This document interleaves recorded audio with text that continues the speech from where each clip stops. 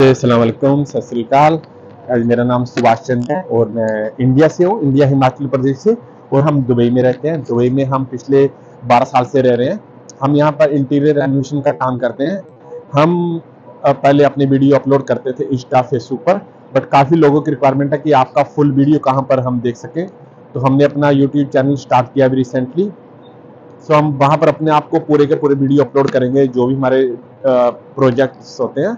हम इसका पूरा वीडियो अपलोड करेंगे। बाकी भी गाइस प्लीज़ मेरे चैनल को सब्सक्राइब करो फॉलो करो और लाइक करो। Thank you so much guys